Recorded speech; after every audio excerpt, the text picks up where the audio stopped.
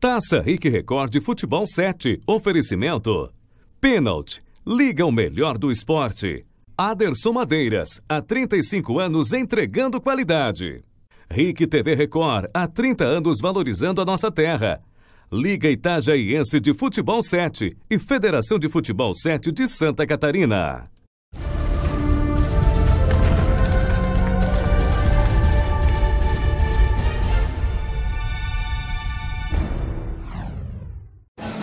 Alexandre, prazer em tê-lo aqui no Bate-Bola SC, é, representando a equipe do OK, que está disputando a Taça RIC. Fala um pouquinho das primeiras partidas aqui pela competição.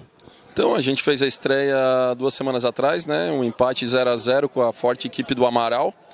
Segunda rodada a gente conseguiu ganhar, fazer uma partida boa, ganhamos de virada da equipe é show de bola, somando quatro pontos na competição e invicto, né? E um gol apenas sofrido. Fala um pouquinho da equipe, porque o nome é o CAR, né? Como é que surgiu a equipe, quais são as empresas que ajudam a manter a equipe nas competições?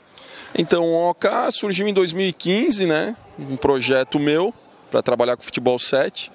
É, a princípio para disputar competições nível estadual, é, regional, pintou até uma competição internacional, a Copa Sul, que a gente acabou participando. É, disputamos a, o ano passado também a Copa Floripa, tivemos o êxito de um título, Liga Metropolitana também, Canas Cup também, e sempre buscando o apoio de, é, vamos dizer, não patrocínio, apoiadores, né, como a Magnus Sushi aqui de Balneário Camboriú, Forte Vistorias de Itapema, é, Home Sports, é, da Almago Supermercado e buscando cada vez mais parceiros né, no nosso projeto do Futebol 7, que a gente sabe que é muito difícil hoje em dia um empresário patrocinar o esporte amador. Bom, fala um pouquinho porque o nome é OK, é da Itapema, a equipe, né?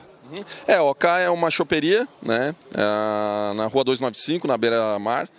É uma choperia do meu pai, na verdade. E a gente linkou o nome da equipe, OK, barra DC Lanches, que também é uma outra lanchonete de um parceiro nosso. E buscamos o nome do time, fazer uma mídia, né? E através de, da, das competições, buscamos o nome da OK. Bom, o OK também está disputando a Liga Metropolitana lá em Floripa, né? Como é que está a, a situação da equipe na competição lá na capital? Então, a Liga Metropolitana é outra competição que a gente está disputando. Como a gente está disputando três competições é, simultâneas, hoje a gente tem disputa de terceiro e quarto da Taça BC e estamos disputando a Taça RIC. Lá a gente está hoje em sexto lugar na competição, né? É, um sistema de turno único, 10 equipes, classificam seis. E agora a gente vai dar prioridade para a Liga Metropolitana, né? Acabando essa competição hoje, a gente vai dar, levar as nossas principais nomes e as principais forças para disputar a Liga para buscar o bicampeonato.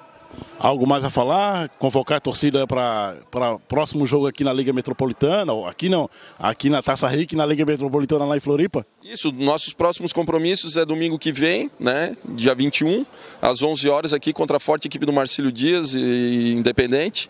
E o nosso próximo encontro lá em Floripa é também no mesmo domingo, às 18 horas, contra a equipe do Dozin. Uma partida para nós que vale muito, né? Para a reabilitação no campeonato, já que a gente veio de uma derrota para a equipe do Madeira por 6 a 4